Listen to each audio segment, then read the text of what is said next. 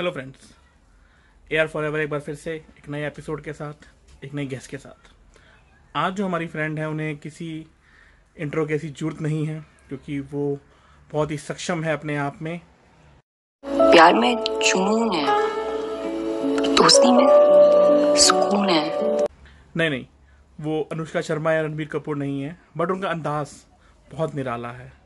वो बोलती हैं तो बहुत अच्छा बोलती हैं। उसके अलावा उनमें फ़न एलिमेंट उनकी स्माइल जैसे कि मैंने इंट्रो में भी लिखा है, उनकी स्माइल बहुत ही शानदार और लाजवाब है।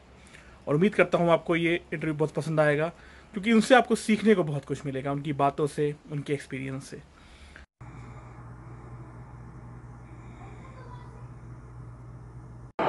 लोग कहते हैं, बड़ी शांत मुझे।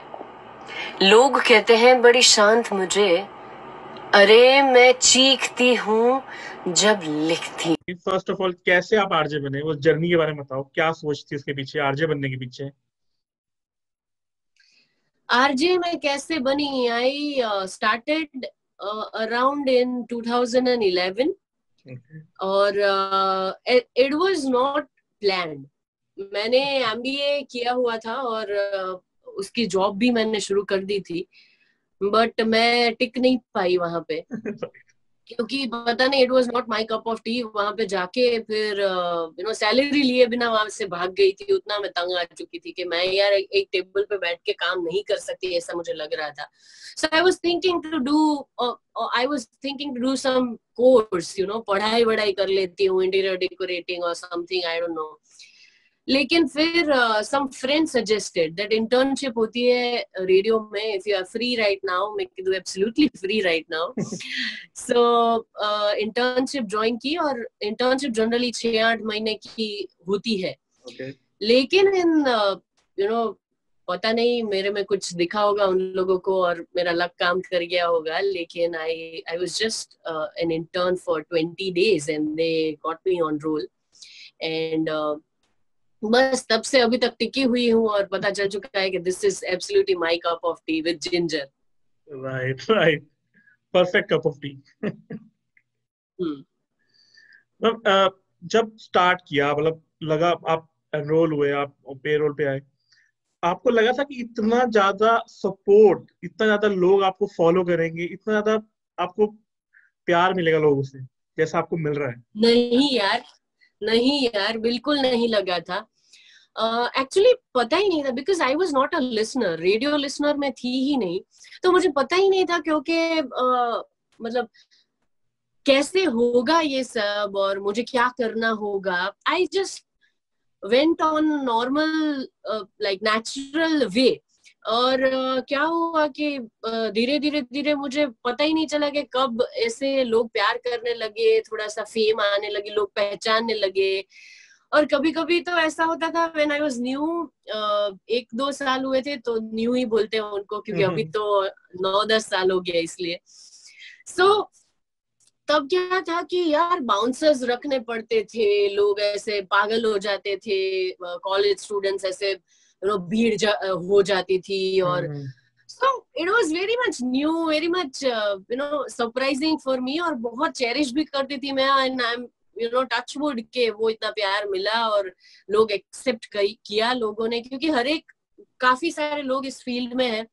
हर एक को इतना प्यार नहीं मिलता सो लकी इनफ और लोग पता नहीं प्यार करते हैं तो प्यारा लगता है। Right right. जितना प्यार मिलता है? लोगों से प्यार तो मिलता ही है बट वही हमेशा कहा जाता है, खासतौर में इंडिया में हम बोलते हैं कि भाई, जितने ज़्यादा चाहने वाले, उतने ज़्यादा ना चाहने वाले भी हैं। ट्रोलर्स जिसे कहते हैं हम। तो जी उनके, जी। जी उनके साथ सामना होता है तो अब क्या उसको डील कर लेते हो आप की भाई आप अवॉइड करते हो कि ठीक है बोल जो बोल रहा है बोलने तो मुझे फ़र्क नहीं पड़ता? हाँ हाँ। भाई साहब जैसे प्यार करने वाले बहुत हैं वैसे हेटर्स भी होते ही है। So so, happy that lovers and haters दोनों है मतलब इग्नोर नहीं कर रहे हैं लोग मुझे। पर हाँ ट्रोलर्स है मतलब uh, अभी रिसेंट ही मैं आपको किस्सा सुनाऊं तो एक इवेंट हम लोगों ने ऑर्गेनाइज की थी और I was there so there there were some rappers कि जो रैपर में आपको पता हो तो डिस करते हैं लोग। Right, मतलब right. कि किसी और को नीचा दिखा के आप फ़ेमस uh, होते हैं जैसे कि फॉर एन एग्ज़ाम्पल रफ्तार का केस हम ले लें।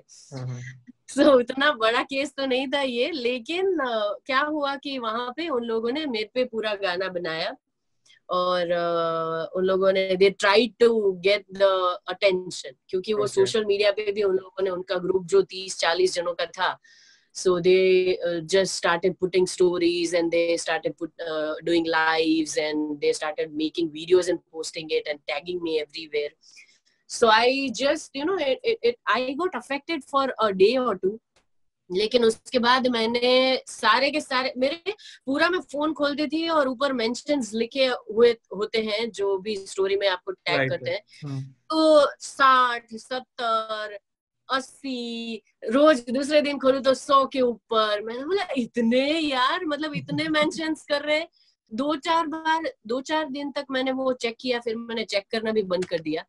And then I decided not to give a damn at all और मैं जनरली ऐसा ही करती हूँ कि हाँ मैं इग्नोर कर देती हूँ। तो क्या होता है कि मुझे भी अफेक्ट नहीं करता। पहला गुजराती में बोलते हैं ना वो जाडी चामड़ी ना थी जाओ तो वांधो नहीं आओ तो।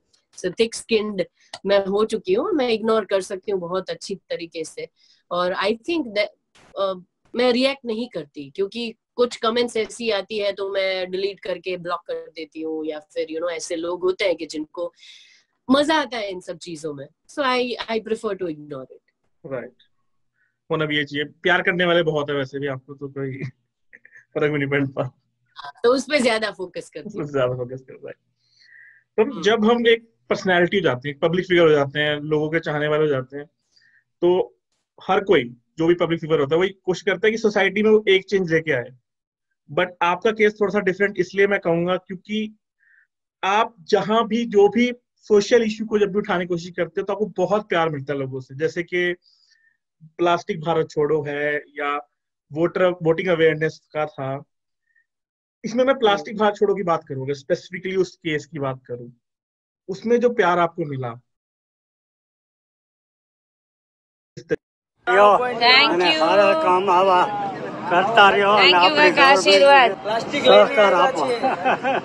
થેન્ક યુ થેન્ક યુ તમારા આશીર્વાદ આપતા રહેજો ચોરાણું પોઈન્ટ ત્રણ માં રેડિયો મારી બાજુમાં જ હોય હે તમે સાંભળો થેન્ક યુ સો મચ આવો તમને થોટ આવ્યો કે તમે અહીંયા પ્લાસ્ટિક ને બધું જમા કર્યું છે અને એના લીધે મારો નાનપણનો મારો જે ડ્રીમ હતો उसके बारे में बताओ कौन क्या मोटिव था आपका बेसिक मोटिव क्या था उसके पीछे क्यों आप ब्रांड एम्बेसडर भी हो मेरे ख्याल से स्वच्छता के राजकोट के हाँ हाँ हाँ, हाँ सही बोला आपने सो so, हाँ मेरा एक तो मैं स्वच्छता ब्रांड एम्बेसडर हूँ ऑलमोस्ट डेढ़ दो साल से राजकोट में। सो हम्म। so, मुझे वैसे भी मैं कुछ ना कुछ करती रहती थी मैं लोगों के साथ जाती थी कचरा उठाती थी और पूरी टीम बना के ऐसे न्यूसेंस एरिया होते हैं जहाँ पे कचरा जमा होता ही होता है।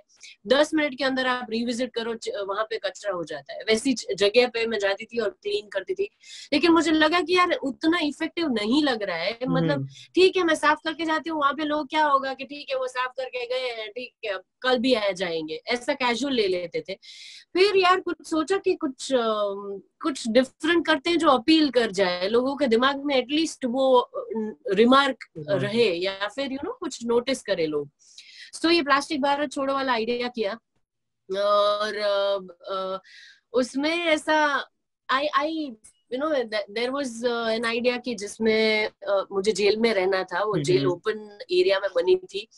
और everybody was very much sceptical कि यार ये कर पाएगी एक तो लड़की है और वहाँ पे खुले में रहना है खुली जेल रहेगी और पता नहीं कब तक रहना है। क्योंकि मैंने ऐसा बोला था कि 500 किलो प्लास्टिक जब तक नहीं जमा हो जाता मैं बाहर नहीं निकलूँगी तो राजकोट के सपोर्ट की ज़रूरत है। वैसे मैं प्लास्टिक इकट्ठा भी करना चाहती थी और लोगों को खाली इतना वो महसूस हो कि, ओके फाइन कोई कर रहा है इतना, या तो फिर यू नो खाली इतना दिमाग में ऐसा छप जाए कि ओके प्लास्टिक के लिए किसी ने इतना किया था let's not throw it somewhere क्योंकि ये हार्मफुल कुछ ज़्यादा ही होगा। सो hmm, so, खाली इतना नोटिस कर जाए लोग को दिमाग में छाप हो जाए वही मेरे लिए काफ़ी था। तो 500 किलो प्लास्टिक की राह में मैं बैठी एक दिन तो ठीक ठाक किलो आ गए। फिर मैंने सोचा कि यार बहुत लंबा कटने वाला है अपना तो यहाँ पे जेल में।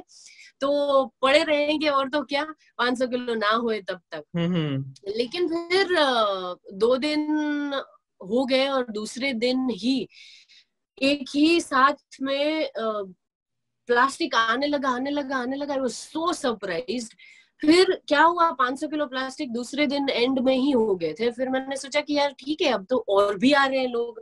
तो अब मैं खुशी से रह लेती हूँ। ऑलमोस्ट दो दिन तो हो गए थे। सेवेंटी टू आवर्स मुझे करने करने का मैंने सोचा ठीक है अब सेवेंटी टू आवर्स खत्म कर ही लेते हैं और हम्म। बैठते हैं यहाँ पे। फिर uh, फिर भी बहुत अच्छा सपोर्ट रहा और पच्चीस सौ किलो तक प्लास्टिक मैंने जमा किया। तो इकट्ठा किया। तो या रिस्पॉन्स बहुत प्यारा रहा। तो उसके अलावा भी काफ़ी सारी चीज़ें जैसे कि हमने आपने बोला उसके पहले क्या कौन सा बोला था? हाँ वोटिंग अवेयरनेस वाला था। फिर मैंने टैबूज पे काम किया है जैसे कि पीरियड्स के टैबूज है। सो विमेन डायरीज करके किया था। सो हम्म। so, ऐसे सब कुछ ना कुछ मैं करती रहती हूँ। अभी आगे भी बहुत प्लान है। सो so, देखते हैं कुछ कर पाए तो अच्छा है। Right right. तो आप हर सोशल इशू को हर को उठाने की आप कोशिश करते हो जितना आपके सिटी में होता है। जैसे कि एलजीबीटी कम्युनिटी के बारे में बोलते हैं सब कुछ बोलते हैं। तो कभी ऐसा आपको ऐसा फील होता है कि भाई जिनके लिए मैं बोल रही हूँ कई बार क्या होता है बाद में पीरियड शेयर करता हूँ तो कई बार क्या होता है लड़कियाँ ही चाहती नहीं उसके बारे में बात करना। तो वो कहते हैं नहीं बात नहीं करनी। एलजीबीटी कम्युनिटी में भी कुछ होते हैं लोग कहते हैं नहीं हमें बात ही नहीं करनी। तब कभी लगता है कि भैया जब ये नहीं बात करना चाहते तो मैं क्यों बात करूँ? या मैं क्यों बोलूँ? कभी ऐसा फील होता है कि उन्हीं से बैकलैश हो जाएगा इनफैक्ट कभी क्या होता है विदित के कोई और अगर नॉर्मल ली अगर उस टॉपिक पे बात करे तो लोग खुलते हैं। जैसे कि हम्म। मैंने नोटिस किया जब मैंने विमेन डायरीज ऑन पीरियड्स किया कि मैंने तभी क्या था कि it was very very much new वो छूने का नहीं और नीचे सोने का ये सब हम सोच रहे हैं कि यार अभी कहाँ है ये सब? लेकिन है अभी भी लोग पेपर्स या यू नो रेत यूज़ करते हैं in place of sanitary napkin so there are people के जो है ऐसी मान्यताएँ धराने वाले या फिर जो पैड्स ना अफोर्ड करने वाले या फिर बिलीव नहीं करते। सो so, जब मैंने बात करनी शुरू की इट वॉज़ रिस्की क्योंकि ऐसा लगता था कि लोग खुलेंगे बोलेंगे इसके बारे में या नहीं बोलेंगे। लेकिन जब मैंने शुरू किया लोग कंफर्टेबल होने लगे। ऐसे हम्म। कई औरतें बाहर आई कि जो अपने घर के रिवाजों के कुरिवाजों के बारे में बात करने लगी। कई ऐसी कई ऐसे मर्द बाहर आए कि जो जिनकी मान्यता ऐसी थी कि यार मैं जब मेरी बीवी पीरियड्स में होती है तो यार मेरा frustration because I I can not make love to her I get frustrated और मैं उस पर अपना एंगर निकालता हूँ उसको मारता हूँ डोमेस्टिक वायलेंस होता है मैं उसको अपने मायके भेज देता हूँ मुझे इरिटेट इरिटेशन होता है ये पाँच दिन। सो so, सो ऐसे ऐसे कन्फेशन बाहर आए ऐसे ऐसे लोग खुले उस टॉपिक पे बारे में कि ऐसा लगा कि यार ऐसे टॉपिक्स हमें छेड़ने चाहिए बिकॉज़ uh, बीच में मैंने जैसे सुसाइड के बारे में बात करना शुरू किया था जब नीट की एग्ज़ाम्स थी और उसमें रिजल्ट्स आए थे हम्म। और स्टूडेंट्स uh, जो थे टीनेजर्स थे या फिर स्टूडेंट्स थे वो लोग सुसाइड करने लगे थे तो मैंने खाली प्लेटफॉर्म एक बार कंफर्टेबल कंफर्ट लेवल वो जोन खोला उसके बारे में बात मैंने चर्चाएँ करना शुरू किया तो लोग आने लगे। कि यार मुझे मुझे लोग मुझे याद है कि वीडियोस और फ़ोटोज़ भेजते थे। Just don't reveal my name and I just wanted to share it with you कि हम्म। ये मैंने कट किया है और मेरी गर्लफ्रेंड मुझे तीन बार छोड़ के गई है और ये मेरी स्टोरी है मैं अभी हॉस्पिटलाइज हूँ और मेरे पे वो ग्लूकोज चढ़ रहा है अभी। सो so, ऐसे सब कन्फेशन मेरे पास आते रहते हैं। तो इसीलिए मैं सोचती हूँ मुझे हिम्मत मिलती है कि यार अगर मैं लोगों तक पहुँच रही हूँ तो मुझे ऐसे टॉपिक्स छेड़ लेने चाहिए।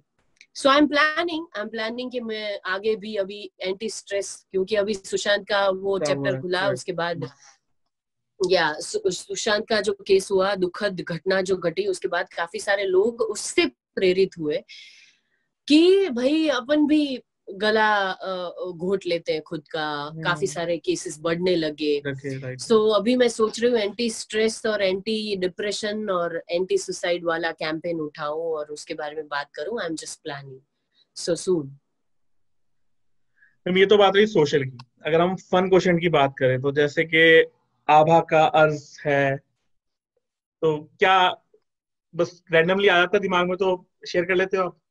सुना सा लगेगा। गाने पे नहीं, मेरी बात पे। बहुत मोटी हो गई हो। थोड़ा वेट कम करो। काम करके क्या करोगी? थोड़ा घर पे भी ध्यान दो। बोलती बहुत ज़्यादा हो।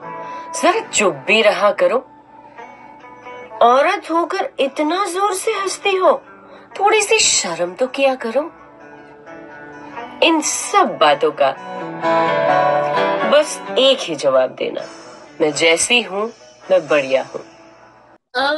हाँ एक्चुअली क्या हुआ कि नाम मुझे अच्छा लगा। मैं ऐसे टू लाइनर्स और मुझे अच्छे लगते हैं पढ़ना। लिखती कम हूँ लेकिन मैं रीड करती हूँ कई सारे टाइम और मुझे अगर रिलेट करे या फिर मुझे लगे कि यार ये कई सारे लोगों को रिलेट कर सकता है तो मैं हम्म। उसे बोल के रख देती हूँ। फिर वो एस्टेब्लिश होने लगा कि ओके आभा का अर्ज़ मैंने नाम दिया मुझे अच्छा भी लगा। यार नाम से राइम हो रहा है और अच्छा भी लग रहा है। और वो उससे रिकॉल उसका रहा और मैं जो भी भी आस्क मी क्वेश्चन वाला फीचर डालती हूँ इंस्टाग्राम पे तो लोग मुझे बोलते हैं कि यार आभा का अर्ज़ कई दिनों से आया नहीं है। तो मैंने सोचा यार ये बढ़िया है तो कर लेते हैं कभी कभी सो so, या मैं शायरी वायरी या टू लाइनर्स ऐसा कुछ uh, कर लेती हूँ कभी कभी ये अच्छा अच्छा है मैम मुझे बहुत अच्छा लगा आपके वो सेगमेंट मुझे बहुत अच्छी लगी। तो या तो लोगों को जैसे आपका लोगों अच्छा लगा लोगों को एक और चीज़ भी बहुत अच्छी लगी जैसे कि मैं पढ़ नहीं पाया मुझे एकदम समझ नहीं आया कि मैं क्या मैं लिखा था मेरी गेली में कुछ ऐसा है? एग्जैक्ट क्या वर्ड है वो? हाँ. जो वो मेरी गली में वाला गाना वो आपने काफ़ी रिसर्च मारा है मैं बोलूँगी इसमें। हाँ तो आ, मेरी गली में वो गाना बहुत फ़ेमस हुआ था तब मेरे मेरी गली से या फिर गैलरी से हाँ। एक्चुअली वो मैंने शुरू किया था जिसमें मेरी गैलरी फ़ोन की गैलरी से पुरानी पुरानी चीज़ें या फिर पर्सनल चीज़ें क्योंकि मैंने नोटिस किया है ये कि um, क्या होता है कि अगर आप पर्सनल टच दो तो लोग ज़्यादा कनेक्ट करते हैं। और मैं पहले से मेरी कोशिश ऐसी रही है कि मैं थोड़ा सा यू नो जैसे मैं ऑनर ऐसा ना लगना लगना चाहिए लोगों को कि ऑनर कुछ अलग व्यक्ति है या और ऑफ़र जब उसको मिले तो कुछ अलग ही व्यक्ति है। मतलब ये तो वो नहीं है जिनको हम रेडियो पे सुनते हैं। Okay. तो मैं दोनों को थोड़ा सा यू नो जस्टिफाई या बैलेंस करना मैं पसंद करती हूँ। तो मेरी, मैं जैसी यहाँ पे सुनने को मिलूँगी, मेरे वीडियोस भी वैसे होंगे, मेरे मेरी स्टोरीज भी वैसी होगी, मैं ऑनर भी ऐसा होंगी। थोड़ा थोड़ा ऑब्वियसली कोई पर्सनल चीज़ हम अलग रखते हैं पर्सनल लाइफ लेकिन फिर भी मैं कोशिश करती हूँ कि, वो थोड़ा पर्सनल टच दू, कि मैं ऐसी हूँ। तो मैंने गैलरी अपनी पुरानी निकाल निकाल के, उसमें से वीडियोस या फिर मेरी पर्सनल लाइफ की कुछ भी चीज़ें पुरानी पुरानी चीज़ें तो वो मैंने थ्रो बैक की थी। तो उसका था। Right. तो मैम आपने बहुत इंटरव्यूज़ लिए होंगे। आप बहुत लोगों से मिले आप फ़ोन आपने रेडियो पे भी लिए हैं फेस टू फेस भी कैसे सेलिब्रिटीज से मिले हो आप? तो कोई ऐसे दो फन इंटरव्यू या फन इंटरेक्शन आपको याद हो कि हाँ ये मुझे याद रहेगी पूरी ज़िंदगी कि इन दो से मैं मिली हाँ, मुझे मज़ा आया हाँ, हाँ। मिलने की अगर बात करूँ तो इमरान हाशमी के साथ मैंने इंटरव्यू किया था। और मैंने सोचा नहीं था actually it was my first time when I was meeting him और मुझे ऐसा लग गया था क्योंकि उनकी एक तो इमेज ऐसी है। अब पता नहीं कैसे होंगे देखते हैं। और उनके साथ जो कन्वर्सेशन रहा ओ माय गॉड मैंने सोचा था दस एक मिनट बात कर लेंगे मतलब कुछ सवाल तो ज, जब बातचीत शुरू की तो वो घंटों तक चली। इनफैक्ट इट वाज 45 मिनट्स और एक घंटा शायद हमारा कन्वर्सेशन रहा होगा। और uh, बहुत डिफरेंट पर्सनालिटी थी। और कई जब मैं सेलिब्रिटी से मिलती हूँ मिलती थी अभी तो मतलब अभी तो ठीक हो गया है वो लेकिन पहले क्या था कि नहीं थी तो ऐसा लगता था कि यार वो ऋतिक रोशन से मिल रही हूँ तो माय गॉड वो हाउ था और वो स्टार स्ट्रक आप हो जाते हो वैसा मैंने वैसा होता था। तो हाँ तब ऐसा लगता था लेकिन रियल लाइफ में उस उन लोगों को मिलके भी बहुत कंफर्ट लेवल आ जाता है और प्यारा लगता है। और दूसरा अगर मैं अपने दूसरी पर्सनालिटी मुझे तुरंत ही क्लिक हुई वो अभी मैंने आतिश कपाड़िया से बात की थी जब लॉकडाउन चल रहा था इंस्टाग्राम लाइव पे। Atish Kapadia is the writer कि जिन्होंने सारा भाई वैसे सारा भाई खिचड़ी वो सब डायरेक्शन भी किया है director writer of those series बाबंगू और बेबी और बहुत सारी। ऐसी फ़िल्में भी हैं जैसे कि आँखें हैं जोश है वो सब उन्होंने लिखी है। So he is so damn creative और इतना मज़ा आया था उनसे बात करके कि मतलब हुकअप हो गई थी वो बात करने का सोचा क्या था निकले कहाँ पे बात करते करते और आ, बहुत इंटरेस्टिंग वो पर्सनालिटी भी है और बहुत क्रिएटिव पर्सनालिटी भी है। मैं वो खुद मतलब मुझे काफ़ी सरप्राइजिंग लगा कि वो आदमी अकेला सारे के सारे कैरेक्टर्स कर सकता है। मतलब वो जेडी वो, वो बाबूजी भी कर सकता है वो हंसा भी कर सकता है वो हम्म। आ, हाँ वो सारे के सारे कैरेक्टर्स वो मिमिक कर सकते हैं और उनको मैंने ऐसे मैं चुटकी बजाऊं जयश्री करो बाबूजी करो मोनिशा करो वो कोई भी कैरेक्टर पकड़ लेंगे सट सट सट करके वो स्वैप कर लेंगे कैरेक्टर तो इट वाज सो एंटरटेनिंग और मज़ा आया कि यार लोगों मतलब काफ़ी क्रिएटिव लोग हैं कि जो पर्दे के पीछे भी है और पर्दे के आगे आगे भी है और पर्सनालिटी भी इतनी इंटरेस्टिंग होती है और प्यारी होती है। तो या कई लोग हैं ऐसे। राइट राइट तो मैम अगर मैं पूछूँ कि अगर हम आरजे आबा से पूछें कि भाई ऑफ़िस छोड़ दें, घर छोड़ सब कुछ छोड़ दें, आपको एक फन टाइम बोले कि आपका फन टाइम क्या है? आप क्या एंजॉय करते हो? सब कुछ, सब बॉदरेशन छोड़ के, सब कुछ छोड़ के अगर आपको फन टाइम आपके लिए क्या है तो आप क्या बोलोगे? आपके लिए क्या फन फन क्या है आपके लिए? मैं एक्चुअली आई एम अ महफिल पर्सन मतलब मुझे uh, बहुत प्यार है लोगों से। सो okay. so, मुझे मेरे दोस्त है particular group of friends and few family members उन लोगों से मिलना बहुत अच्छा लगता है। टाइम पास उन लोगों के साथ करना हैंग आउट करना बहुत अच्छा लगता है।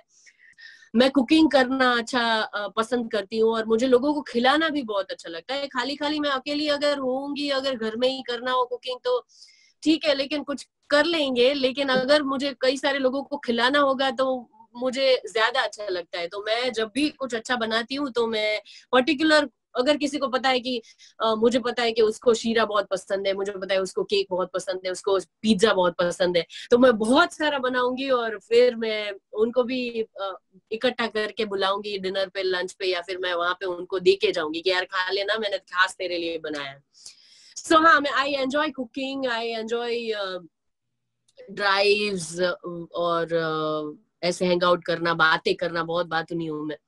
तो या आपको लग ही रहा होगा आपने पूछा आधा सेकंड का सवाल आपको लगा होगा कि आधा मिनट में पता पूरा हो जाएगा लेकिन वो चलता है आधा घंटा। तो आपको पता ही होगा बहुत बोलती हूँ नो आई नो लॉकडाउन में यार बहुत कम रिसोर्सेस से हम खुश हो सकते हैं वो मुझे रियलाइज़ हुआ। मतलब हम सोचते थे कि यार, हर फ्राइडे को मूवी ना देखे तो सब अधूरा सा लगता है। वीकेंड में सैटरडे नाइट को अगर घूमने ना जाए या फिर सैटरडे नाइट को हैंग आउट करने ना जाए संडे को ये ना करे, वो ना करे वीकेंड गेटवे में अगर ना जाए तो मतलब ये अधूरा सा लगेगा। या फिर यू नो शॉपिंग बहुत सारी अगर ना करे यार, वो कपड़े नहीं लिए तो वो सब वो सब के बिना इतना प्यारा लगा लॉकडाउन में अगर if we look into the brighter side और द पॉजिटिव साइड उसके साथ हम हम लोगों को काम करने में वर्क फ्रॉम होम करने में काफ़ी दिक्कत हुई। टेक्निकली uh, थोड़ा सा it was very difficult to manage everything at from home लेकिन उसके साथ ये सब कम रिसोर्सेस से यानी मुझे ऐसा इतना अच्छा लगा यार खाली लूडो खेलने में इतना अच्छा लगता था। कि आप बात ही मत पूछो। मतलब फ्रेंड्स को इकट्ठा करने का रात को साढ़े ग्यारह बजे फ़ोन करने का कि यार चलो आ जाओ रूम बना रही हूँ रूम बना रहे हैं तुझे कोड भेजा है। और वहाँ पे चैट करना इट वॉज़ छोटी छोटी खुशियाँ कि यार मतलब ओके okay, इससे पहले मुझे पता ही नहीं था कि ये गेम में इतना मज़ा आता होगा ऐसी भी कोई गेम है। uh, उसके अलावा इतना यू नो अलग अलग trial and error trial and error छोटी छोटी बातें कई सारी सीरीज़ कई सारी फ़िल्में एक्सप्लोर कर डाली। सो या और अभी आदतें भी चेंज हो गई है। सो बाहर कम निकल रहे हैं और ये सब आदतें कंटिन्यू हो रही है। कैफ़े वैफे में खुल गए हैं रेस्टोरेंट्स खुल गए हैं लेकिन हमें वहाँ जाने का मन नहीं कर रहा क्योंकि we we can also cook now very nicely so yeah सब चीज़ें चेंज हो रही है और वो पॉजिटिव चेंज मुझे दिख रहे हैं मेरे में भी और दूसरों में भी। uh, मैं लास्ट क्वेश्चन में हमेशा अलग पूछता हूँ पर आपसे थोड़ा सा अलग पूछ रहा हूँ। आपकी पॉपुलैरिटी लेवल चार्ट कंपेयर करूँ मैं बाकी आरजे से they are on very high मतलब कंपैरेटिवली बात करें। फॉलोवर्स नहीं कहता फ्रेंड्स कहता हूँ आपके जो ऑनलाइन फ्रेंड्स हैं। तो आपके ऑन एयर भी फ्रेंड्स होते हैं जिनको आप कभी सुन पाते हैं। कुछ फैंस आपको देख पाते हैं। और उन दोनों को आपको डिलीवर करना पड़ता है। तो कितना डिफ़िकल्ट होता है उस चीज़ का बैलेंस क्रिएट करना। कि जो मुझे सुन रहे हाँ हैं और जो मुझे देख रहे हैं उसका बैलेंस क्रिएट करना। यार ये अच्छा सवाल था। क्योंकि रेडियो पे और डिजिटल पे दोनों पे अलग अलग या फिर एक फैंस होते हैं लेकिन डिलीवरी अलग अलग होती है और दोनों को मैनेज करना डिफ़िकल्ट हो जाता है कई टाइम जैसे कि मैंने चैट शो पूरा किया था चैट सीरीज़ की थी पूरी।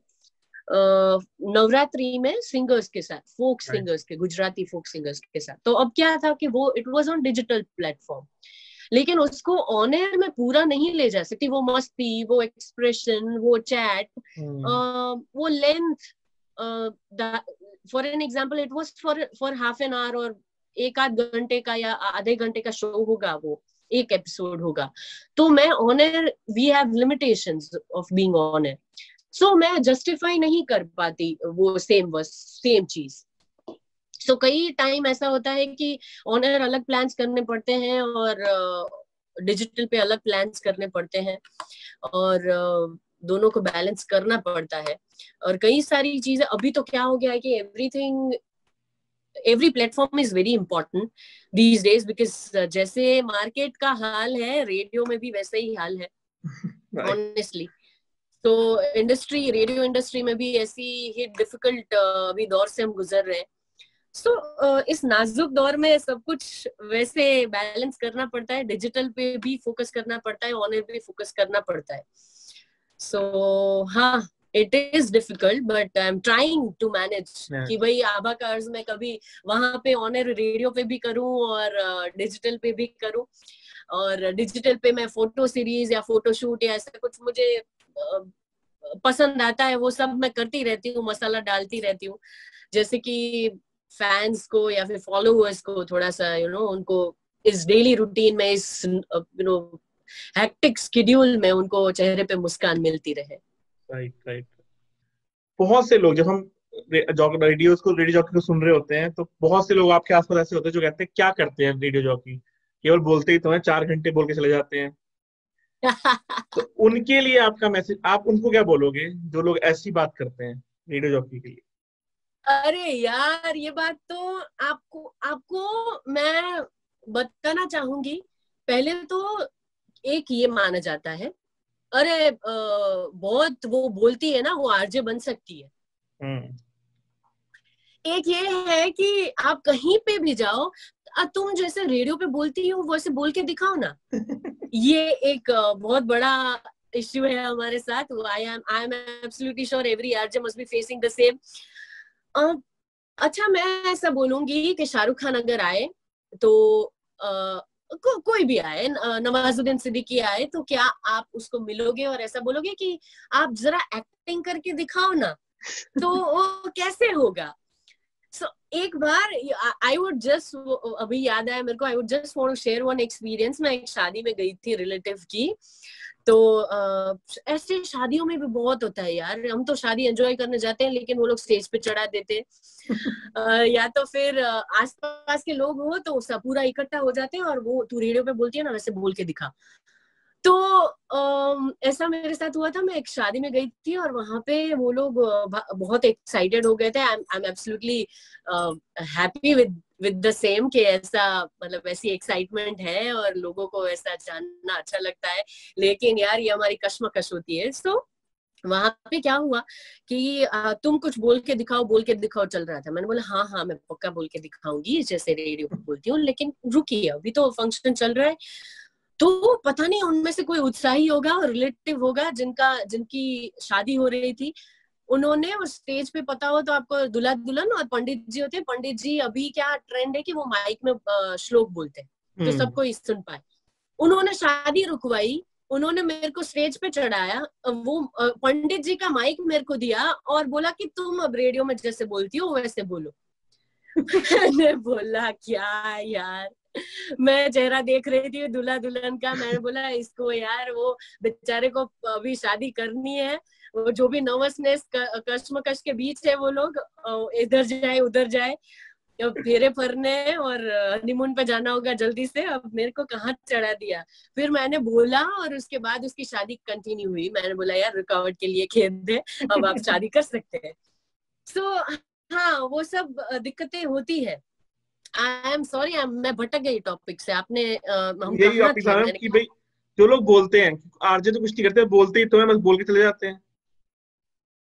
हाँ तो आरजे को बहुत अपडेटेड रहना पड़ता है। बहुत ज़्यादा अपडेटेड रहना पड़ता है। जैसे कि मैं सुबह सात से बारह का शो करती हूँ तो अभी तो अभी आपको पता होगा कि भाई रात को रिलीज़ हुआ कुछ स्टेटमेंट या फिर सुबह कुछ रिलीज़ हुआ या फिर मोदी जी आने वाले हैं सुबह आठ बजे दस बजे तो उसके मेरा शो बारह बजे तक चलता है तो सब कुछ रुक के या फिर शेयर मार्केट क्रैश हो गया। You have to be updated in each and every field भाई आप ऐसा बोलोगे कि मैं लड़की हूँ मुझे क्रिकेट में पता नहीं चल रहा है मैं लड़की हूँ या फिर मुझे शेयर मार्केट में पता नहीं चल रहा है तो वो कैसे चलेगा? You have to be updated and you have to you know update करना पड़ेगा किसी और को। उसके साथ आपका मूड मायने नहीं रखता। आपका मूड हो, आपका मूड नहीं हो you have to smile and you have to make other people smile या फिर आपको मतलब अपना खुद का पर्सनल मूड है, वो हावी नहीं होने देना है। उसमें भी मैं एग्ज़ाम्पल ऐसा दूँगी कि भाई मेरा एक बहुत ही नज़दीक का एक फ्रेंड था जिसको कैंसर था। I was only twenty one years old और something and he was just twenty और समथिंग वेरी यंग मुझे याद है मैं शो कर रही थी तब दोपहर का और मेरे को न्यूज़ आई कि he is no more and मेरा लाइव शो चल रहा था। I could not handle myself because he was very close to me and तब ऐसी एज थी कि ये हैंडल कर पाना वॉज़ डिफ़िकल्ट मेरे एक आध साल हुए होंगे रेडियो पे एक दो साल हुए होंगे। I had to do live show मेरा माइक ऑन होता था। मैं uh, यू नो कुछ बॉलीवुड की कुछ हँसी वाली कुछ यू नो तभी जो भी चल रहा होगा ट्रेंडिंग वो बात करती थी। माइक ऑफ़ होके मैं रोती थी। मेरे ऐसे आँसू जाते थे। So it was very difficult I mean it is very difficult कि आप अपने मूड hmm. स्विंग्स को हैंडल करो। लड़कियाँ हैं मूड स्विंग्स कहीं कभी भी आ जाती है। आई uh, मीन mean, आ जाते हैं। और uh, सो या इट इज़ आपको लगता है कि इसको खाली बोलना ही है लेकिन एक मिनट में आपको या फिर दो मिनट में आपको जो भी आप कहना चाहो with your opinion and with everything आप पूरा सार एक दो मिनट में कैसे बोलते हो वो खाली एक बार बोल के दिखा सकते हैं। So yeah. It is not that easy जितना दिखता है। Right right. चलो मैम शायद लोग जो देखें उनको समझ आ जाए आपकी आरजे जो चार घंटे बोलते हैं उसके पीछे कितनी मेहनत होती है। हाँ यार वो बहुत ज़्यादा होमवर्क करना पड़ता है। थैंक्स लॉट आपने टाइम निकाला नहीं बहुत अच्छा लगा मुझे विदित बहुत अच्छा लगा और कभी कभी क्या होता है, कुछ चीज़ें शेयर करना अच्छा लगता है और यू नो कभी कभी ऐसा होता है कि कोई पॉइंट्स होते हैं, वहाँ पे किसी ने वो पॉइंट वो स्विच दबाया नहीं होता है, वो स्विच दबाए तो उनमें से कुछ निकले, वो नया ही होता है क्योंकि वो अभी तक वो अनछुआ होता है। तो कुछ ऐसे टॉपिक्स है कि जिसपे बात करना अच्छा लगता है, कभी नहीं की होती या फिर लेस डिस्कस्ड टॉक होती है, अभी मुझे बहुत अच्छा लगा मैम आपसे बात करके और आप जो कर रहे हो, बहुत अच्छा काम मुझे सबसे अच्छा परस्पेक्टिव आपने लगा कि एक आर्टिस्ट के लिए बहुत ज़रूरी होता है कि वो एक छोटा सा चेंज लेके आए सोसाइटी में। तो आप तो काफ़ी चेंजेस ला रहे हो ऑलरेडी सोसाइटी में तो वो बहुत अच्छी बात है। कोशिश कर रही हूँ यस मैम बहुत अच्छा लगा मुझे। देख के ही मैं जब जब वो प्लास्टिक वाली बात थी मतलब कोई और नहीं सो, सो, सोचते सब में बट इम्प्लीमेंटेशन बहुत नेसेसरी एग्जीक्यूशन कहते हैं जैसे बहुत नेसेसरी होती है। तो आप एग्जीक्यूट भी कर पा रहे हो तो बहुत हैड्स ऑफ़ टू यू कि आप कर पा रहे हो। और लोगों का सपोर्ट आपको है ही फ़ैन आपके फॉलोइंग आपकी है ही बहुत अच्छी। और होप कि आप उस पर दोबारा बात कर पाए और थैंक्स लॉट आज के लिए। बहुत बहुत thank you ma'am once again thank you thank you so much thank you for all the positive energy you gave अच्छा लगा आपसे बात करना और ऑब्वियसली uh, इतनी प्यारी बातें खुद के बारे में सुनना भी अच्छा लगता है। तो अभी मेरा दिन बन गया है और अभी uh, पूरी कुछ नया प्लान करती हूँ। अभी मीटिंग वगैरह है तो वहाँ पे जाती हूँ और कुछ नई एनर्जी के साथ जाती हूँ। थैंक यू सो मच उम्मीद करता हूँ आपको ये इंटरव्यू पसंद आया होगा और आपने बहुत कुछ सीखा भी होगा। क्योंकि ये एक ऐसे इंसान के साथ हमने चैट की थी, जो कि ऑलरेडी सोसाइटी में चेंजेस ला रहे हैं, जैसे इंटरव्यू में हमने बात करी। और उम्मीद करता हूँ कि आप सब भी कोशिश करेंगे कि आप लोग भी सोसाइटी में कोई चेंज ला पाएँ। मैं फिर आऊँगा और जल्द आऊँगा एक नए इंटरव्यू के साथ और एक नए आरजे के साथ। Thanks lot